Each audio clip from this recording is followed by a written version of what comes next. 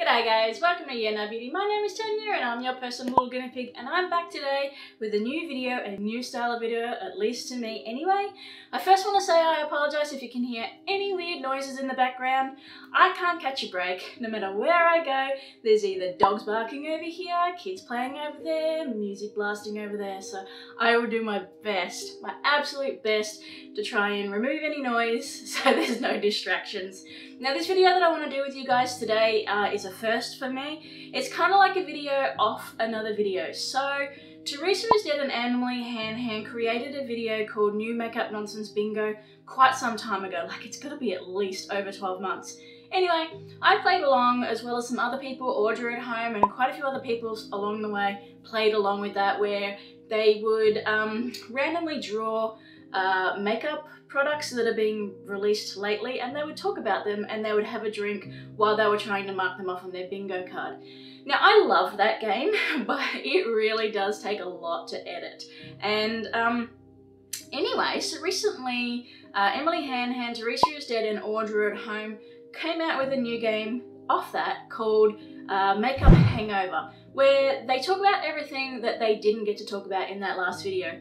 This one sounds more like right up my alley because I am really funny when it comes to makeup. Like I don't love everything. I'm not obsessed with a lot of makeup. I'm very particular, you know, I like a, a good balance between skincare, hair care, makeup and everything like that. And so in a month, they could bring out a hundred things and I might only like maybe five or ten of them. So I thought I wanted to jump on this one, see if I can have a good go at it, see how we go, and see if you guys even like it as well. So anyway, that's what I want to do today. And if you're interested in that, I have eight items that have been re either released or about to be released in the last month or two. And uh, I want to talk to you about them, whether they're good, whether they're bad, just my opinions. And if you feel like chatting with me down below, go for it, hit me up, and uh, let's get straight into the video.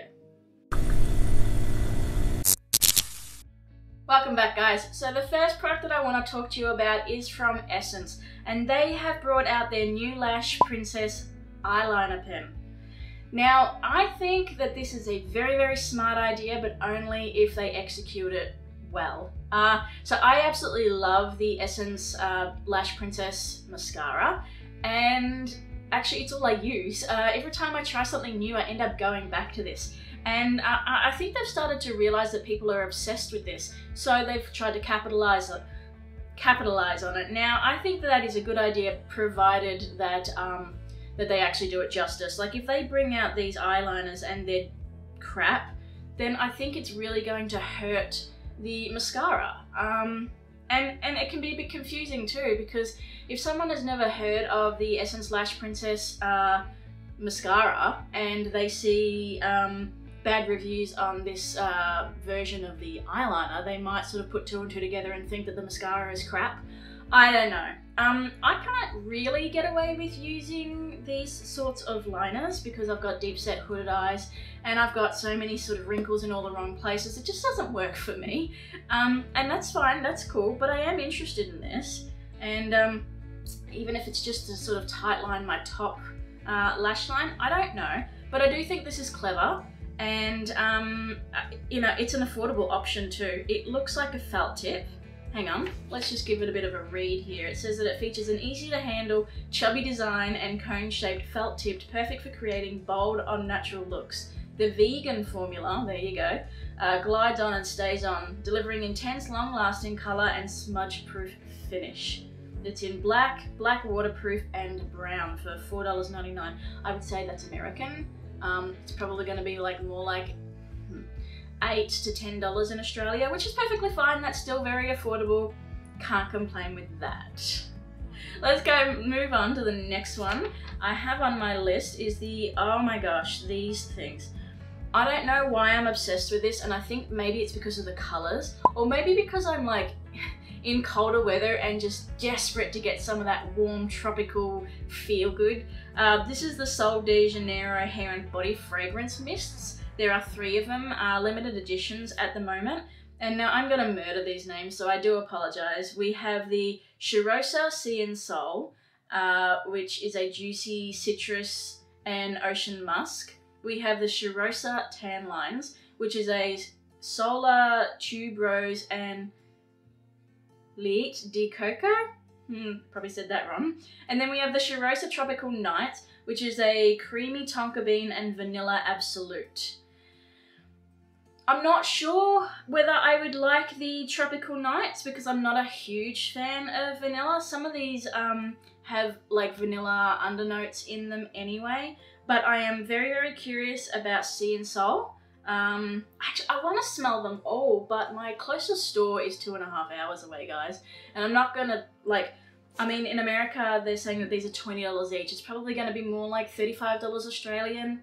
Um, I can't just buy all three. In fact, I want to smell them all, even the ones that they've got beforehand. So I might have to do a trip to Melbourne just so I can go and sniff these. I don't even know if these are going to be released in Australia, but I really do hope that they are. I'm very interested in Sea and Soul. Tan lines as well, but more so Sea and Soul. I don't know why. There's just something that's pulling me to it.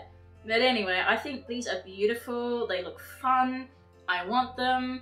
Um, I have to admit though, I don't know why I want these. Like I've tried the Sol de Janeiro uh, Bum Bum Boom, whatever you want to call it, cream. That hurts my head so bad. It is so strong. I'm not a fan of that um, scent and I don't know, like I never thought that I would consider even buying anything from this brand again. Um, but I don't know what it is. I think they, or they've either done really, really good with advertisement or there's some sort of trickery going on here. Anyway, let's move on, guys. The next thing that I have pulled up to talk to you guys about is the um, Fenty Skin, the Cherry Treat Conditioning Lip Oil. There is something that looks very naughty about this. I don't know what it is. This looks delicious. Not that you're supposed to eat it, but I want to try this. I've actually never tried a lip oil before. I'm not sure how that would go. Um, I do prefer sort of like a matte formula. Don't get me wrong, I like lip balms and, and stuff like that, but I've never tried a lip oil, but this one looks like it's right up my alley. I don't know about the cherry flavour, um, I suppose. I don't have a problem with cherry, but hmm, it can be sickly sometimes. But um, yeah, I like the idea of this. Um, eh, yeah. I'd like to try this. I don't really have much else to say about it. I don't even know when it is out, unfortunately because I didn't write it down. But this looks cute. I want to try this. I don't know why, but I'm just feeling it. Once again, it's so much more like summery sort of vibe. We're not in summer here. Um, maybe I'm just, I think I'm just yearning for warmer weather again. I hate the cold, guys. Anyway, let's move on to the next thing, which is the Laguna, um, the NARS Laguna Bronzing Creams. They brought out some more shades. Um, I never actually saw this when it first came out, when it was a limited edition. And then I saw it when they re-brought it out and I thought, oh, I like this. But I had literally just brought the powder. And I'm like, do I really need another Laguna bronzer, even though it's a cream, and the cream's probably going to be better for my skin because I got dry skin. It's probably going to be much better. Should I get it? Should I not? I don't know. I like this, I really do, and I do know that cream products work on my skin far better than powder.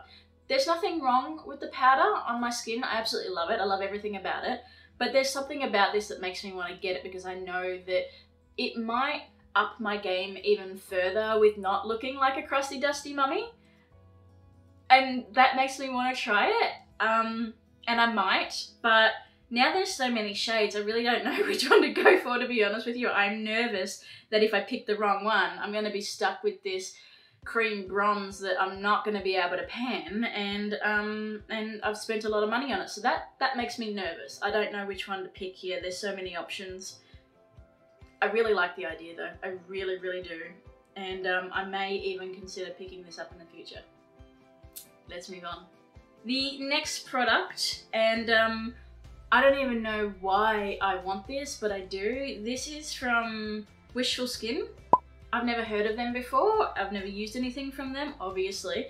And I don't typically use eye creams, eye serums, or anything like that. Not anymore anyway. I'm, I do not really see any sort of results from any of them that I've ever used. But this is the Eye Lift and Contour, Couture, This is the Eye Lift and Contour 1% Patchouli and Peptide Serum. I don't know, there is something about this, uh, maybe it's the green packaging, I don't know. Maybe it's that I know that that um, applicator is going to be cooling under my eye, I don't know. But I really do want to try this. Um, I don't believe that this is really going to do anything, to be honest with you. i got to be frank with you, I don't think it's going to do anything. And for $45, and if that's American, whoo!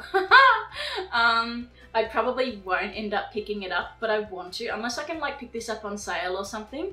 Um, I don't know, have you guys used this? Let me know in the comments below if it's any good, because I am curious. Uh, or any other creams for that matter. I mean, I've tried quite a few creams, and I just don't see any results. So right now I'm just sort of working on my um, my retinol because that's about the only thing that I'm seeing results with. So any hoosies, let's move on. The next thing is uh, another brand that I've never heard of before, never used before, and it's even a product that I've never used before. This is the Supergoop Lip Sunscreen, or Lip Screen Sheer SPF 30. This is a a lip balm that's got sunscreen in it. And I think that is, that's perfect, especially for um, Australia. I don't think I use a lip balm that has a sunscreen in it. I don't even really think about it, but I should because it's on my face. Um, I just sort of like get the sunscreen and just sort of slather it all on and do I even get my lips? I don't think I do because I don't like I don't like sunscreen on my lips. That could be interesting. I wonder I wonder what it's like. I actually want to try it. I think I'm going to give it a go. Um, it's $22. I don't think that's too bad. I don't know, actually. Mm, nah. I mean, it's a lip balm with a purpose. Am I to justify this? I don't know. I want to try it. I need a new lip balm, don't I? Anyway, guys, I think this is cute. I love the packaging. There's something about the packaging that's actually pulling me in.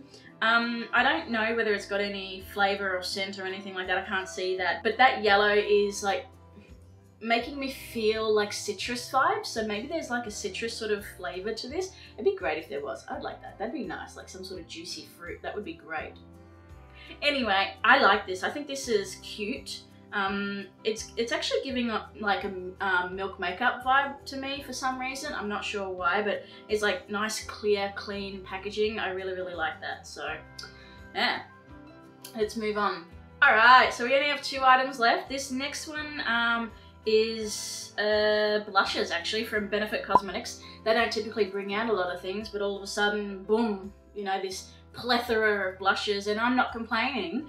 Um, Look, I would have liked for them to find some sort of different packaging other than that box style packaging, but the box that they've used is not as big and bulky as um, some of their highlighters from the past that I've noticed. I do really want to pick some of these up. I'm not sure which one. I'm thinking maybe um, Peachin, uh, I'm not sure. I hmm, Possibly even Shelly. I don't know. I'm really vibing the sort of more orangey blonde, orangey blondes? the orangey uh, blushes at the moment and I'm not sure why because I used to hate, I used to hate anything that sort of even had the tinge of orange on me. I don't know. But um, I'm not digging the sort of rosy, bright sort of pink or even deep mauves on my skin tone anymore. I, I, I really like the sort of terracottas and the and the oranges. So um, I might consider picking something up. I don't know. So we have, and I'll tell you, um, I think they're already out, I believe. We've got Peachin, which is a golden peach blush. We have Moony, uh, which is a rich berry blush. We have Java Rosy, which is a mocha blush. Krista Strawberry, which is a pink blush. And Shelly Butterfly, which is a sunny, what? Which is a sunny Willy, uh, Sunny Willia Pom Pom Terra? Okay, whatever. Anyway, um, I'd like to get my hands on maybe one or two of these, give it a go. I've not tried a blush from them. I've only got a highlighter, which is that Dandelion one. Really love that. Like, I am babying the shit out of that. I'll probably never use it, like, all up, because it's a highlighter. I mean, seriously. But I, I want to try it. I do want to try it, and I'm glad that Benefit has extended their range, and um, I'm excited to see what else they bring out in the future, to be honest with you. That packaging, though. Talking about packaging, and the last thing that I want to talk to you uh, about, unfortunately, yeah, I just want to take the piss out of them. Just a little, just, just, a, just a little bit, right? Maybelline. So Maybelline have brought out these shadow blocks, these stacked trio shadow blocks, and I don't know how to feel about this. Like, I was looking at it and I'm like, yeah, okay, cool, fine, you know, budget, makeup. And then I was just thinking to myself, you know what? No. No. This is shit. Like, it's like they go out of their way to produce packaging that screams cheap. But the price tag that they put on their makeup, like, okay, we have them in our drugstore. But would I consider them to be drugstore prices? Not really. Not their eyeshadows, no. Um, you might get a lipstick occasionally for $10 when it's on sale, but typically their, their, their makeup, you know, starts around about $21, you know. A lipstick could be 21 to $31. Um, an eyeshadow palette could be 25 to $40. I don't class these guys as drugstore. I mean, um, I don't know if I've got the price of this. No, I don't. I, it says $10 each. That's American. Uh, in Australia, it, it will be more than that. And But even if you look at that, that's three shadows, maybe $3.30-ish each. $3.30 a shadow. I mean, it's not Pat McGrath prices, but it, I wouldn't class it as one of the cheapest uh, eyeshadow brands out there. I mean, I would much rather put my money into Colourpop, even though Colourpop produce way too much stuff. There are so many other things out there, other other brands out there that I would much rather pour my money into, and I just think that they could like, they could try harder. They don't need all this bulky, ugly packaging um, I thought we were like past all of this. Like it just, it's ugly. The shades look beautiful. Um, there's that green one there that I was looking at. It, maybe, right? Maybe. But that packaging is so clunky. It's boxy, it's childish, and I'm sorry, I just can't do it. I just, yeah, I don't know. I would have just rather this, even just this basic little um, trio quad even. Um, it would have been fine. Eh. Even if you wanted to put it the same price, I don't want to pay for all that plastic. That's a lot of bulk. That's crap. I don't like it. And yeah, I don't know. Even even when Melt did their stacked sort of shadows, I didn't like it. I, you know, if I can't see it, I'm not inspired. I gotta pull it all apart. I mean, do I need to say anymore? so I, I am sorry Maybelline, but this was not it for me. Um, but anyway guys, look, I'm not going to drone on any longer. That was just a couple of products that I've noticed in the last couple of months that um, have been uh, posted about either being released or whatever that I thought that you guys might be interested in, or at least I was anyway. And um, if you like this sort of format, feel free. Send me a message down below. Let me know. If you don't like it, tell me. I don't care. Uh, look, I, I enjoy chatting with you guys. And um, yeah, hopefully it won't be too long before the next time. See you later, guys. Bye.